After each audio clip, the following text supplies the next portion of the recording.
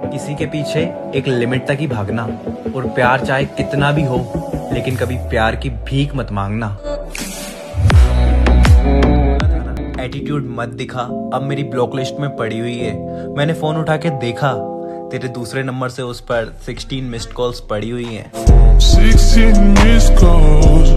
Sorry I was busy. जब हद से ज़्यादा बढ़ जाए ना ताल्लुक तो गम मिलते हैं। बस एक यही रीजन है।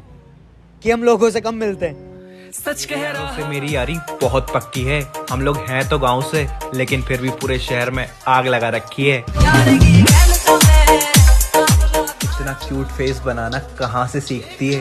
अब तुझे क्या बताऊँ? मुझे हर जगह पर तू ही दिखती है। बहुत फ़र्क है पहले और अब के रिश्तों में।